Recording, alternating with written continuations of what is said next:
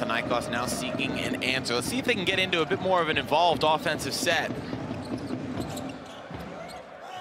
This one goes to Rice, who's able to make that and a foul. Eyeing on the three-point line already here in the first quarter. That one is Deshaun Thomas. Calathes looking to find some room there on the wing. Feeds his man down low. Tough turnaround bucket. That backdoor cut. Gets it over to Fredette, is always looking for that shot. But it's Deshaun Thomas. Bank shot, it's open for three. Back to Calathes, inside to Wiley from, couldn't get the jumper from the free throw line to go.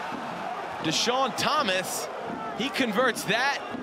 So they were quiet for the first pointer is good, and it's a four-point game. A little bit of noise from the crowd. Inbounds comes all the way to Thomas, and all night he has quieted this group.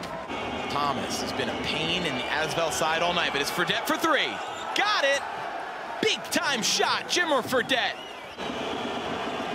Fredette now gets his man in the air. So does Thomas. What a turnaround jumper. Offense for Deshaun Thomas there as his man goes flying over him.